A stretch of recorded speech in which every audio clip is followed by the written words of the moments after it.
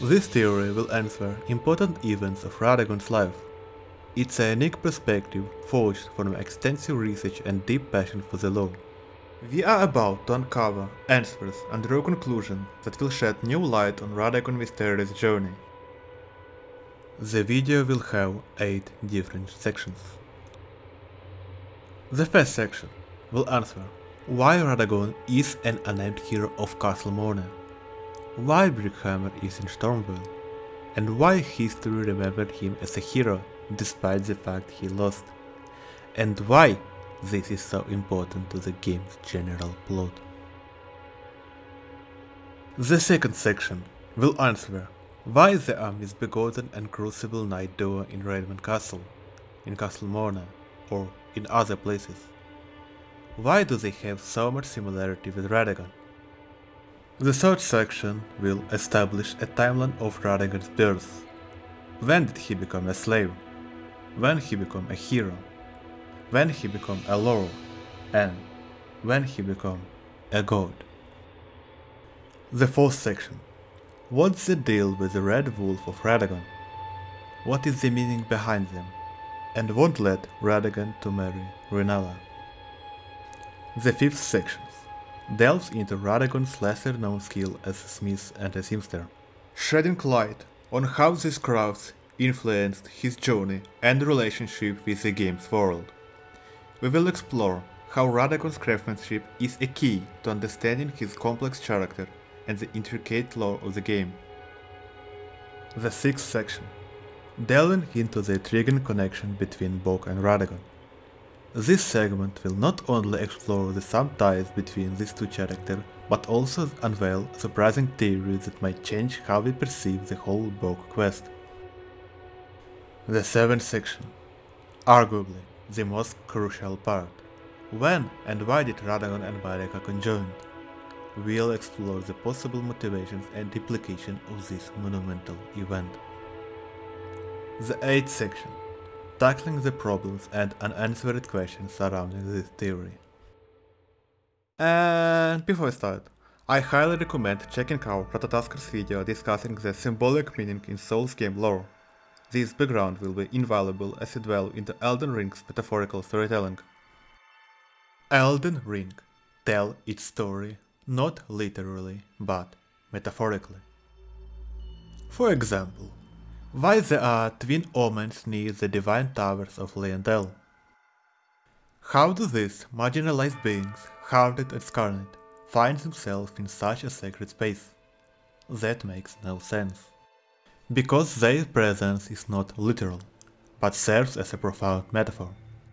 The entire area surrounding these omens is shrouded in darkness, not due to some technical issues, but as a deliberate choice by the game developers.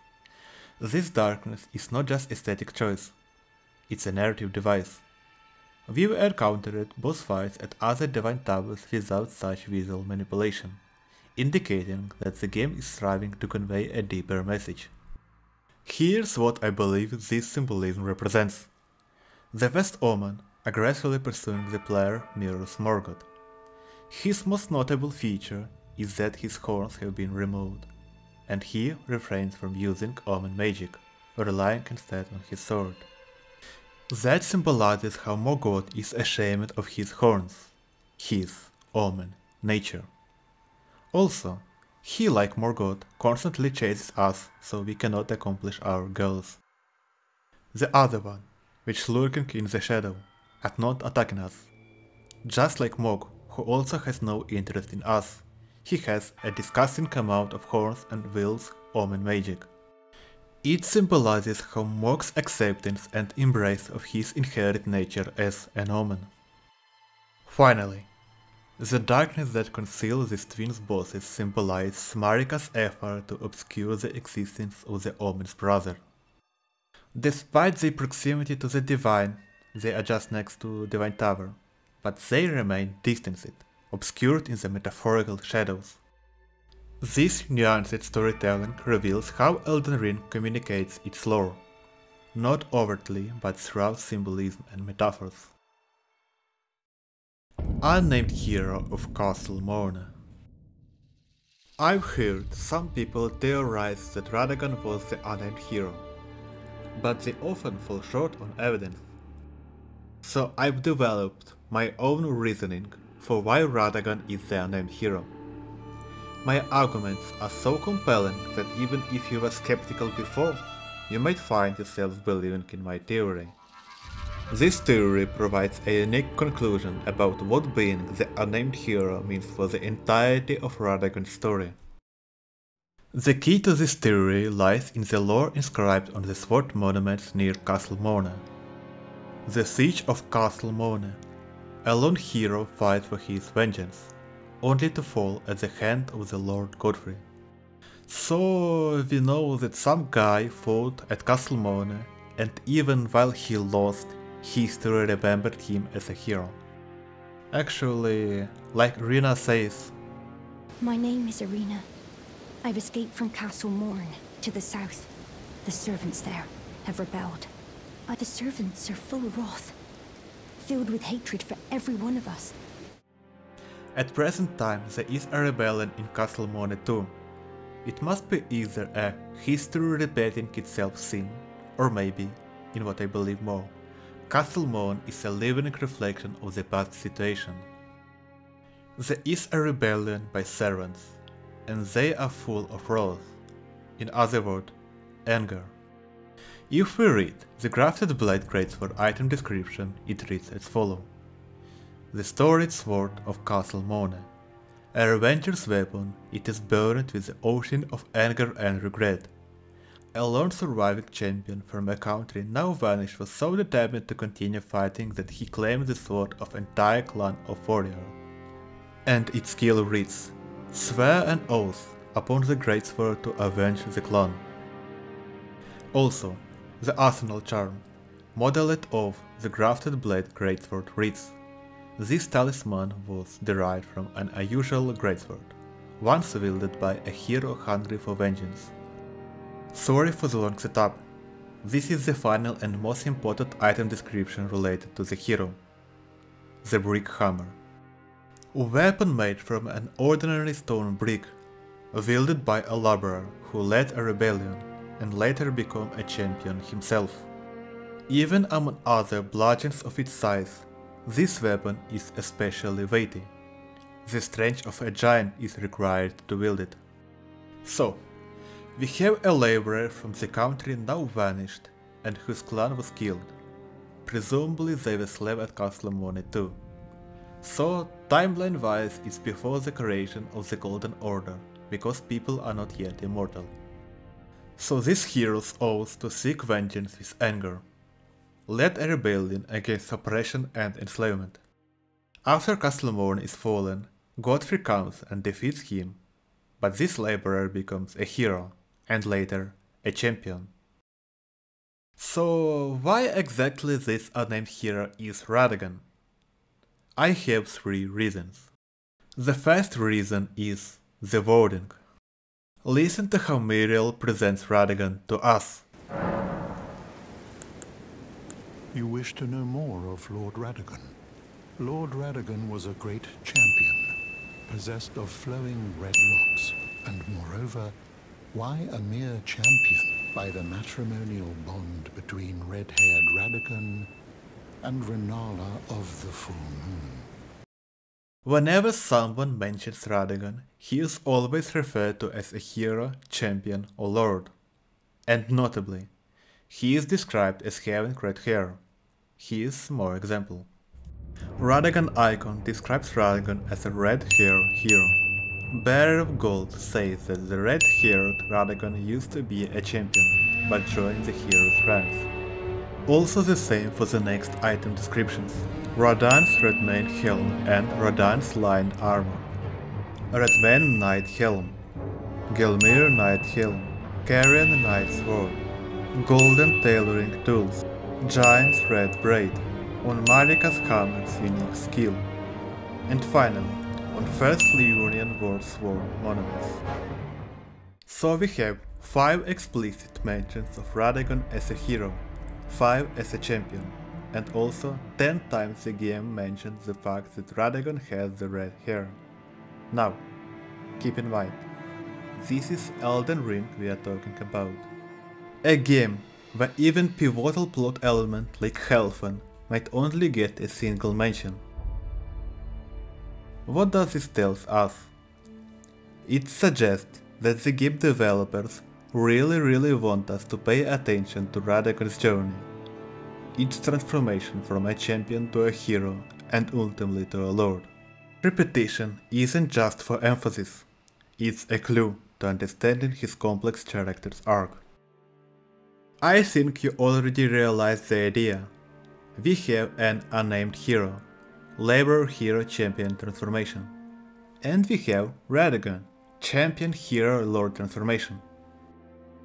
And also, you know, like the unnamed hero wields Brick Hammer, Radagon is wielding a hammer too, even these days. But there is one problem why people are so struggling to admit that Radagon is the unnamed hero. Is because of our main argument, the Brick Hammer. Hammer talks about rebellion, but it's located at Stormveil, not Castle Morne. Why? Is this hammer talking about different rebellions? No. There is a simple reason for this. Why is Radagon alive after he fought with Godfrey? There can only be one reason. Godfrey spared Radagon's life. Because he finds warrior potential. And as we know, the unnamed hero from a clan of warriors. And Radagon probably found in Godfrey something special too. The perfection. Radagon's main motive in the story is to become a perfect being. We will talk about this later. So maybe Radagon saw in Godfrey this perfection, or maybe it's because as a Roche. There are some Radagon Serosh connection also, but I will leave it for now. Anyway, specific reason doesn't matter. Another connection between Unnamed Hero and Stormveil Castle is the Arsenal Charm, which is modeled from Grafted Blade Greatsword, which was Hero's weapon. We got this talisman from Nepheli Loux. Nepheli Loux. We met at Stormveil. I'm glad to see you here. I have something for you. I found it in Godrick's grafting grounds. Which we encountered in Stormveil, and she is relative to Godfrey. It cannot be just a coincidence. To conclude this, I theorize after the Castle Morne incident, Godfrey took Radagon with him to siege Stormveil Castle, and together they killed Storm King. So after Radagon proved his strength again, Godfrey freed him from laboring. Like Brickhammer says, Radagon didn't become a champion immediately after the rebellion, he became only later. Discarding his signature Brickhammer symbolizes the end of Radagon as a laborer, the born of Radagon as a champion. The Red Echoes the second reason is the Leonine misbegotten. Why this guy is here in Castle Morne? Why is he wielding a hero's sword which he forged with his clan's weapon? Why does he have a red hair? As I told you, the Elden Ring plot was never meant to be understood literally. Giant's red braid description reads The flame red hair of a fire giant. Every giant is a red of hair and Radagon was said to have despised his own red locks. With every mention of Radagon, the game mentioned his red hair. Let's make a big assumption. I believe Leonine Misbegotten represents Radagon. Think about it. Why game emphasize Radagon red hair so often if like it's so unique? They wouldn't bring up Radagon red hair every other time they mention the guy unless it mattered. And why give the same red hair to a random NPC? Why give the seemingly not important NPC Radagon's Golden Order sword? This must be an intentional hint. Additionally, proof of this concept is pointed out by Sekiro Dubi.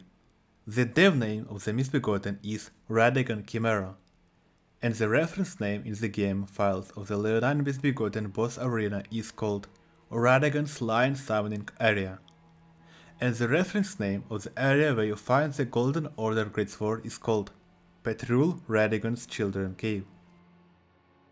If you still do not believe me, look at one another misbegotten appearance. At the end of Redmane Castle, alongside Crucible Knight prior to Redmane Festival. Why are they there? I am mostly 100% sure. The reasoning is clear to me. The answer lies in Radahn's lion's armor. Radahn inherited the furious flaming red hair of his father Radagon, and is fond of his heroic implication. I was born a champion's cup. Now I am the lord of Battlefield's lion.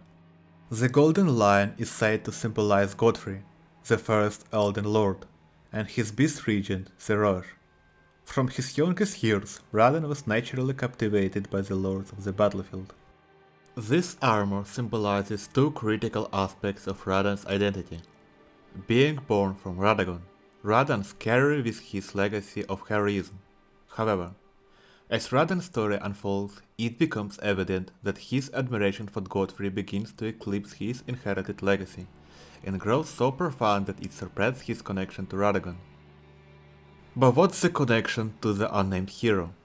It's a clear indicator for me. The misbegotten warrior channels Radagon, and the Crucible Knight, Godfrey. Recall the battle. It perfectly mirrors the description of Radahn's lion's armor. At the fight's start, only the misbegotten is visible, reflecting how Radahn's admiration for Radagon began from birth. However, the Crucible Knight joined the battle only later mirroring how Godfrey enters Radahn's life after some time. This turns the battle into a duo fight where the Crucible Knight being much stronger than Misbegotten symbolizes that Godfrey's influence on Radahn's characters being much stronger than Radagon's. That is exactly why we encounter two Misbegotten warriors in the Haligtree, and why Misbegotten warriors are present in Leyndell. And there are a lot of Miquella's Lily around them, which is further proof my point. We'll delve deeper into this in the later sections. The third reason why the innate hero is Radagon is quite simple. Who else? There is literally no other candidate. Think about it. Why did developers create so much setup for this unnamed hero who became a champion and did nothing with it? The tons of reference of him must not be in vain. He must play some role in the story. All other characters who don't appear in a story serve some role anyway. Like Gloam-Eyed Queens tell a story about the Rune of Death, Maliketh, and, presumably, Melina. Blind Swordsmen help us to understand Malenia and God of Rot. Or even all Outer Gods, they save some role despite not showing in the story at all. So, is really a knight hero of Castle Morne so unique I don't think so. Phew. Okay. We established that the unnamed hero was indeed a Radagon. That means, Radagon was not Marika from birth. Radagon must be separated, just another human being. Otherwise, if the theory above is correct, it will make no sense. Marika must be busy in Leyndell while Radagon was a slave at Castle Morne we must accept the fact that they were not the same person from the start to continue. And that leaves an intriguing question. If Radagon wasn't Marika from the start, when did they become one? And I have answer in which I'm confident. But for now, let's move to the next section. Radagon the Giant There were three ages of Erdtree before the Shattering. Age of Plenty, when tree gave anyone tangible benefits. After a tree was burned, Age of the Tree worships, days without blind faith.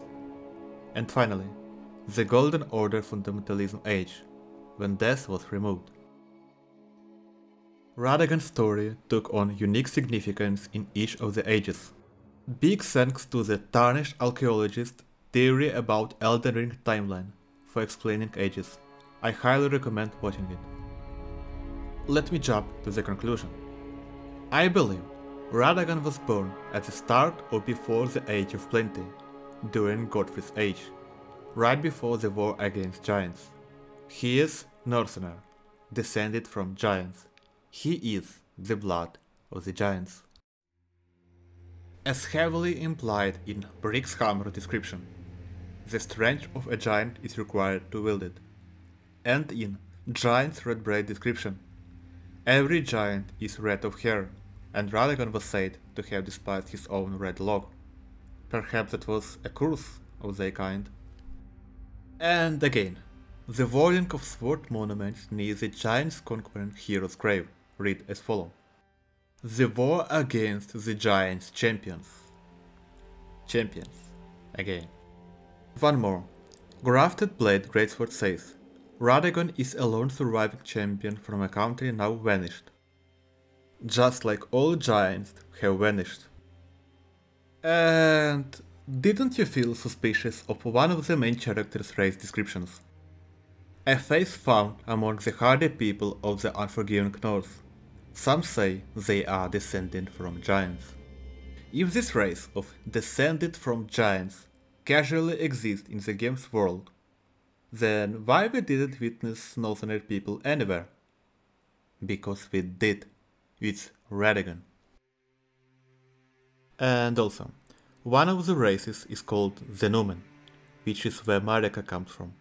So it's pretty clear that if we can choose an origin related to Marika, we'll likely have the option to select one connected to Radagon as well.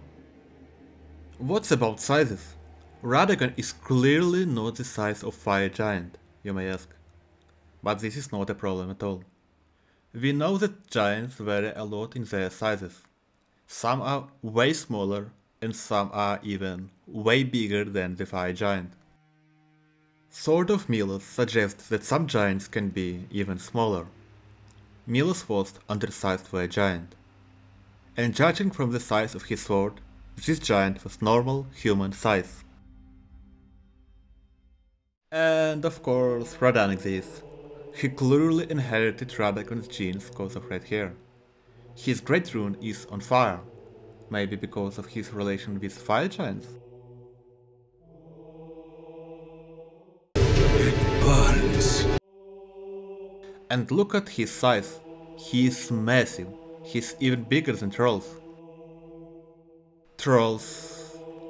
The lesser giants who fought with the Erdtree during the war against the giants long ago. Just like Radagon. Once at the giant sides, now at the Erdtree sides. Coincidence? No, they small. Look at Trollhammer's item description. Trolls are descended from the giants, just like Northerners. And these were supposedly once used as ceremonial smithing tools. In the distant past, smithing was considered divine. So trolls, as well as Radagon, are descendants of giants, and they practice divine smithing with their hammers. Remember the first time we saw Radagon? He is smithing something divine. He is forging Elden Ring with his hammer. Further evidence supporting my conclusions can be found in the Weeping Peninsula, a region closely associated with Radagon. Here, we encounter an Evergaol imprisoning the hero of Zamor, known as the mortal enemies of the Fire Giants since the time immemorial. Why would someone opposed to the Fire Giants be confined within an Evergaol, even sealed with an imp statue? Isn't hating Fire Giants a good thing to do in the lands between? I can even imagine you can be trapped in the Evergaol for liking them, not the opposite. So why? I believe it is because he knew Radagon was a fire giant. He aimed at Radagon. That's why he was trapped. This can be confirmed further by his drop, Radagon's Scarseal. So if all the above is correct, we can reconstruct Radagon's origin. There was a country full of warriors somewhere in the mountaintops of the giant, and they were killed or enslaved by Marika's forces. Maybe regular Scale Misbegotten represents other Radagon's people, just like Leonine represents Radagon. They were defeated somewhere in the north and forced to be laborers at Castle Morne. That will explain why there are so many of them in the castle. This also can be source of Radagon's hatred toward Marika. Why did he oppose her in the first place? Because Marika was the one responsible for killing the giants. Because Radagon is the hero of vengeance. This hatred can even explain why Radagon did so many horrible things to Marika in Elden Ring The Usurping Theory by JaRhEd69, which is the great theory by the way. It's a deep speculation now, but he probably had no renown during this age. It seems his goal was not to make his own name, but to become closer to Marika. That's why no one remembered the name of the hero of Castle Morne. And somewhere in the middle of the next age, the age of the Erdtree worship, somehow Marika and Radagon make first contact with each other, and both of them, for different reasons, starting working together.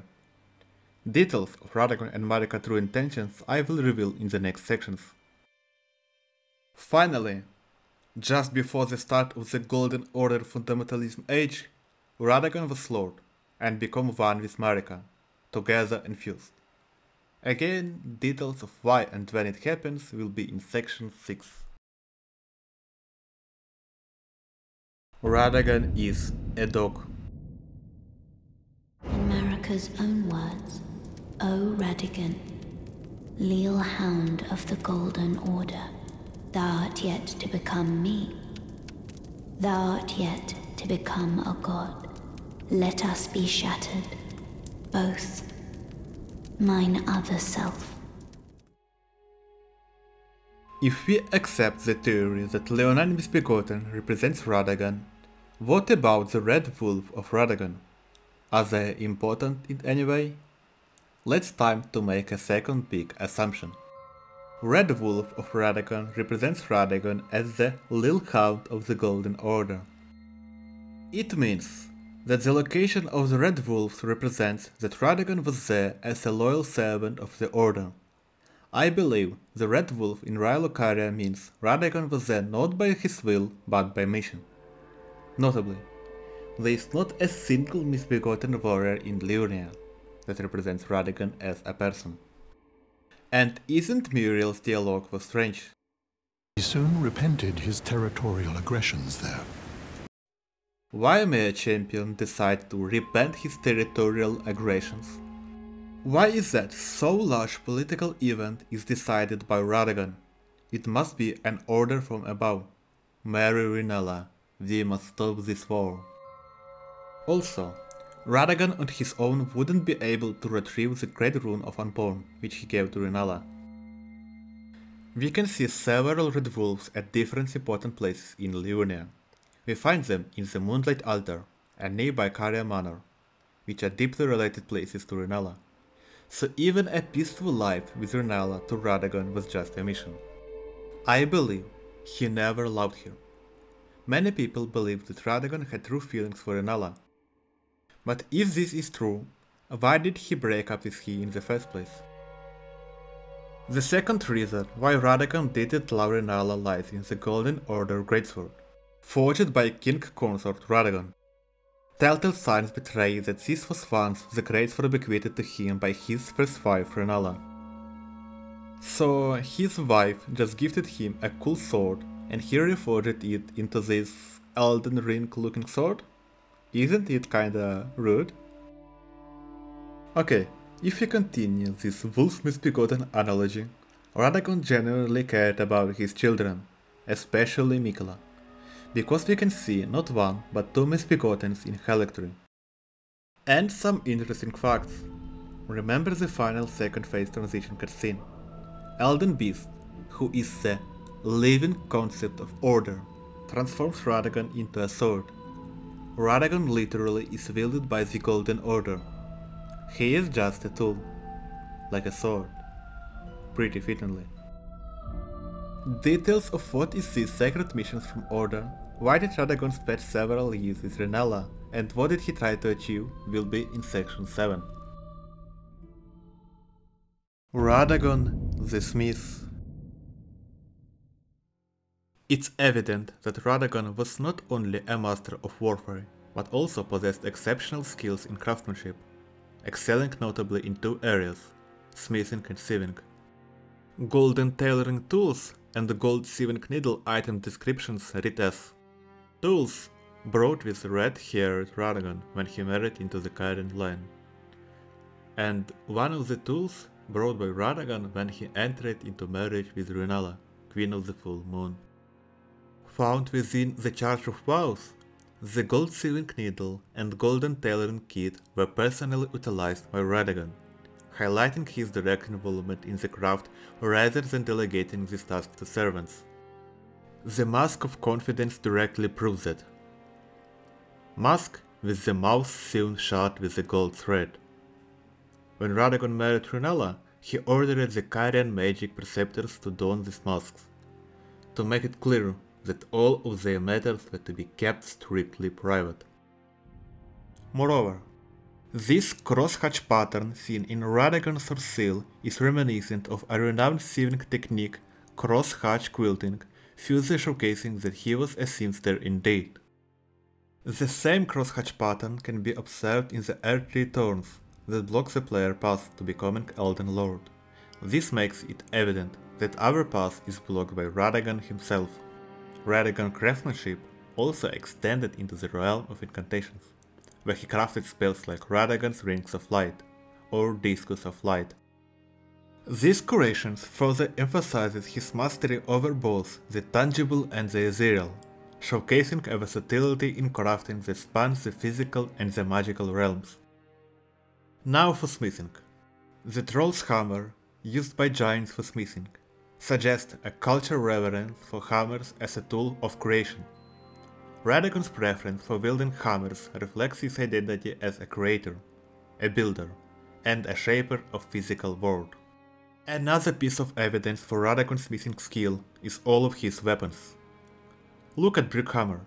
He makes a decently strong weapon from just an ordinary stone brick, the grafted blade greatsword is a marvel of craftsmanship. Integrating weapons from an entire clan into one massive grafted sword is a feat that transcends ordinary smithing. The crude design, upon closer inspection, reveals blades wielded together in a cross-hatch pattern, reminiscent of Radagon's signature style. Another proof that Radagon was indeed an unnamed hero. The same with Golden Order Greatsword. Look closely and you will notice the crosshatch pattern of Radagon. So this work was done by Radagon's own hands. Some interesting insights. Look at pulley crossbow description.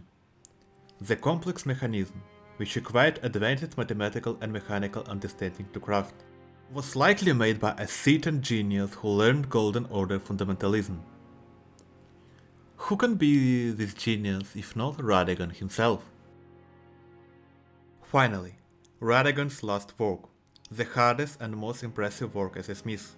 He repaired the Elden Ring. Have you ever noticed the same crosshatch pattern in the Elden Ring logo? What does it mean? An overwhelming amount of the community refers to it as Radagon Great Rune. But this is incorrect. This is an attempt. Attempt to repair the Elden Ring itself. Didn't you find it strange? What was the main function of the Elden Ring? It was clearly responsible for the reincarnation cycle of living. But after it was shattered, we, as Tarnish, are still immortal. Reincarnation works just fine. Great Runes still has power, grace still guides us. So what really happened? The answer lies with Radagon. His efforts to repair the Elden Ring, so not wholly successful, were enough to maintain its core functions. So this logo is representation of Elden Ring's current state, shattered, crumbling, yet somehow intact, held together by Radagon's distinctive ever-present crosshatch pattern. Radagon the Seamster Oi! You, you there!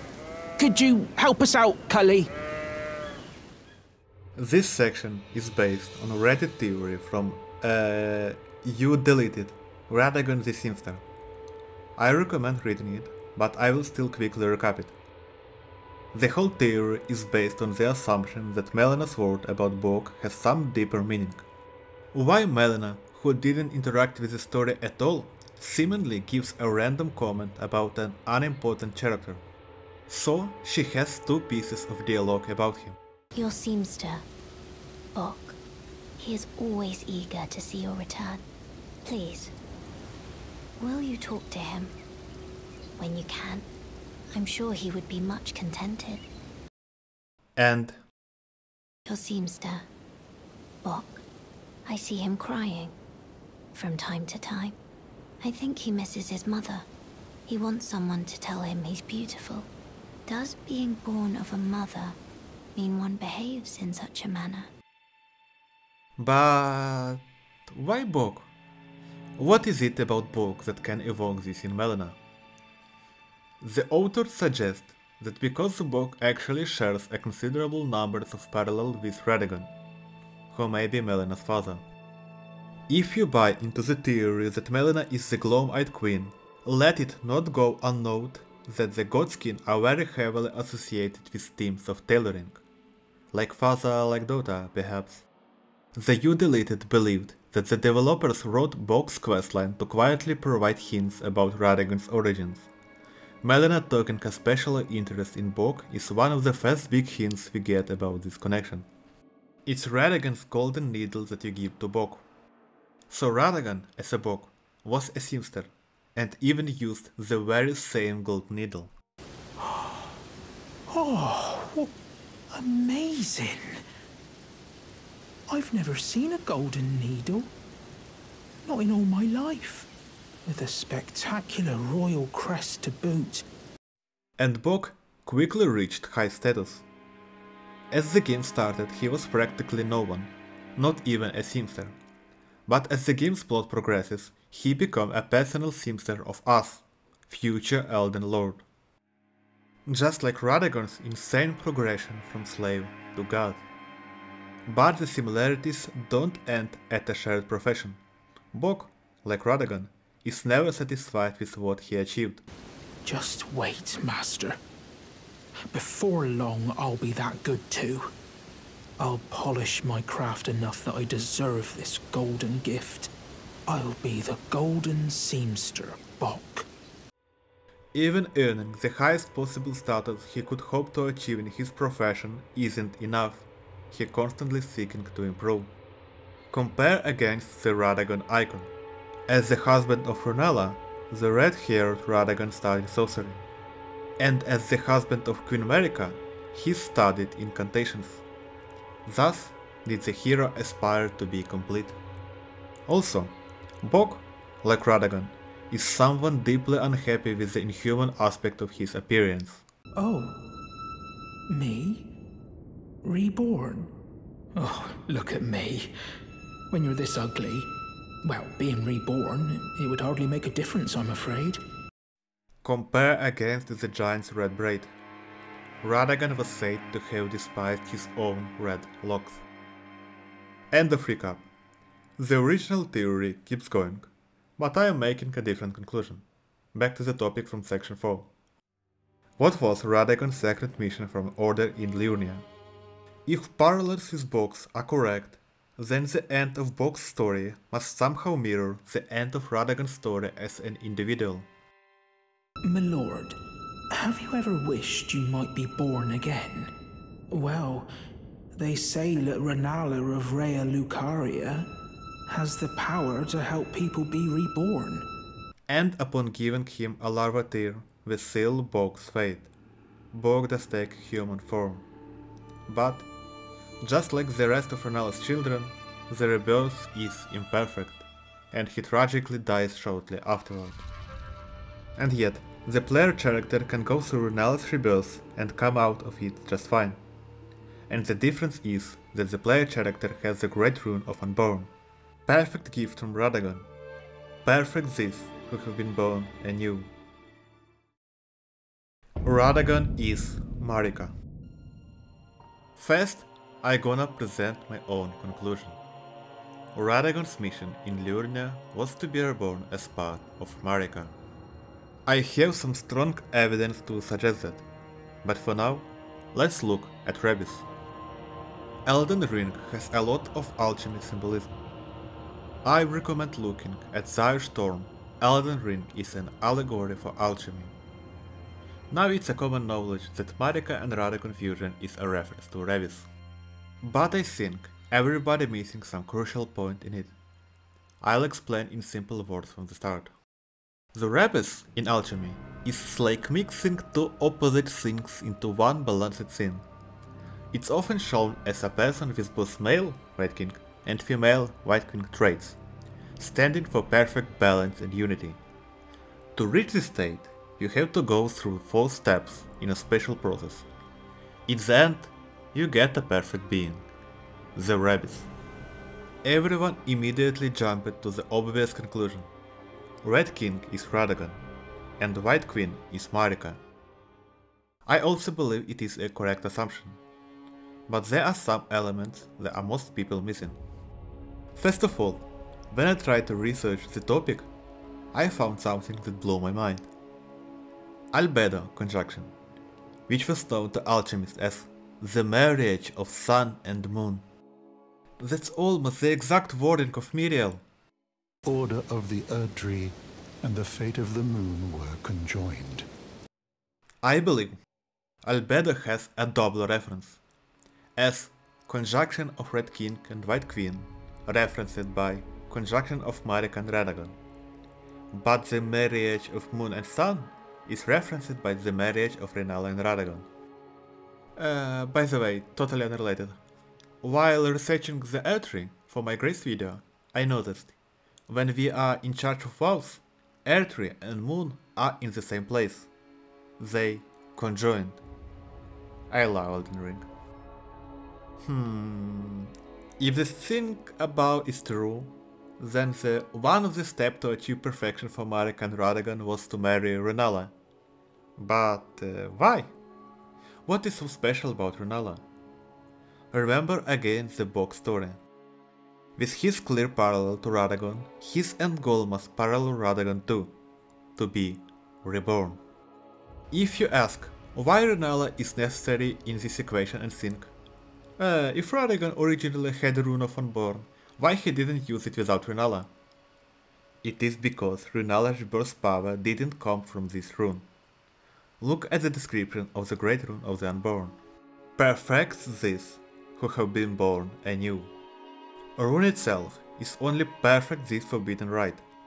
So Rennala can do it even without Great Rune, as we see from Boc's story. He was reborn, even while Great Rune was in our possession. So Rennala did it without Great Rune. How Radagon convinced Rennala to do this? I don't know, and it isn't important. Matters only that due to his assistance, Marika and Radagon conjoined. And some interesting stuff lies in different stages. Nigredo, purification process, which can be achieved by burning material to ash. Maybe another Fire Giant connection?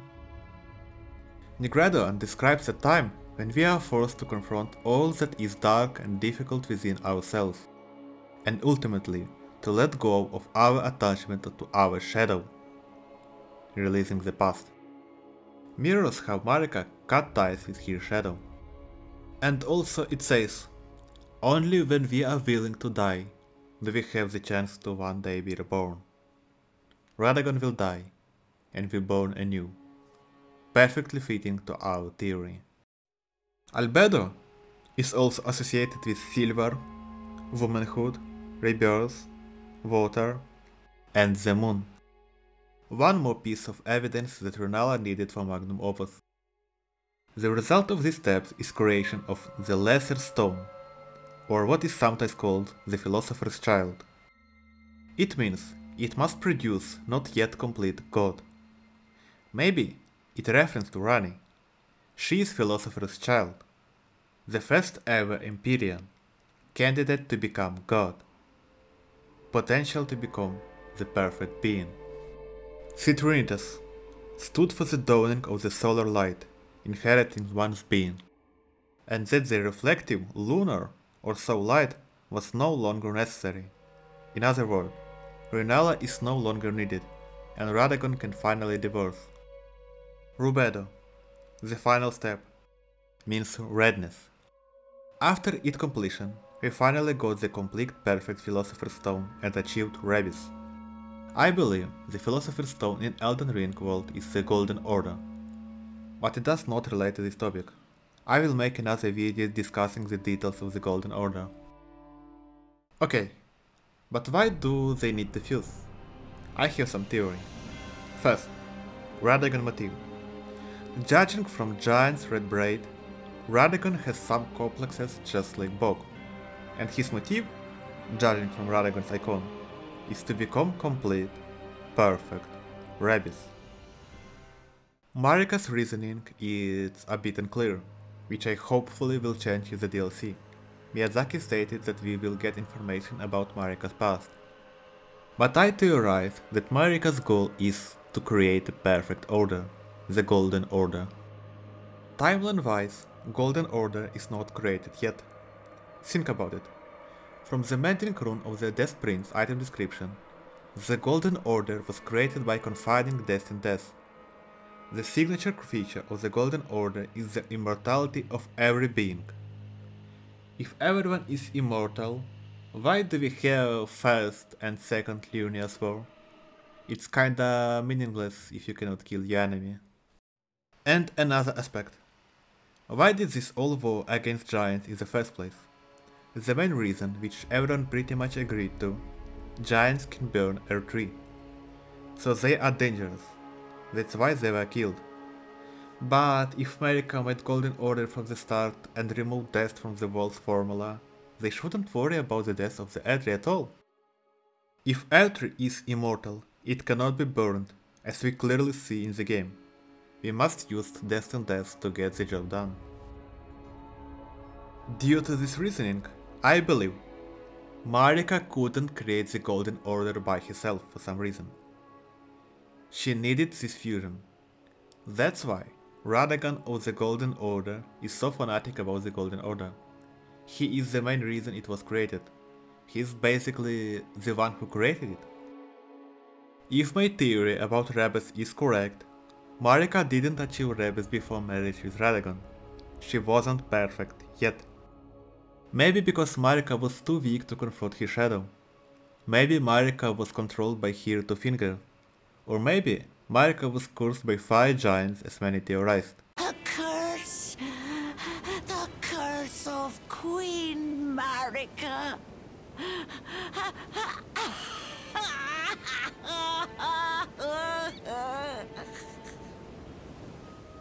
But still, why Radagon? Why didn't Marika choose Godfrey to fuse with him? The reason must lie in what is unique about Radagon, his red hair. In other words, fire giant's blood. Rebis is union of opposite.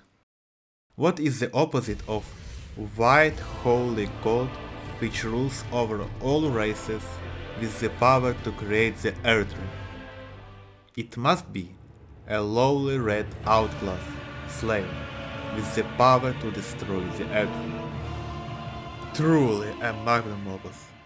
They managed to achieve this perfect golden order with not a single problem. Or so people believed, at least. Problems The lack of direct evidence. The unnamed hero section had the most evidence, while Radagon's origin as an author is a deep speculation.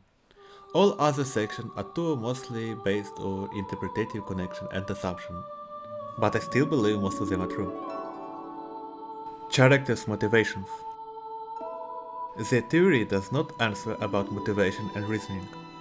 Why did Godfrey spare Radagon? Why did Renala help with Radagon's rebirth? Why did Marika help Radagon? What is Greater's real reaction to all of this? Role of other characters. This theory does not touch Miquella's or other demigods' connection with Radagon. Also, I didn't say anything about the Shattering, the most important event in the story.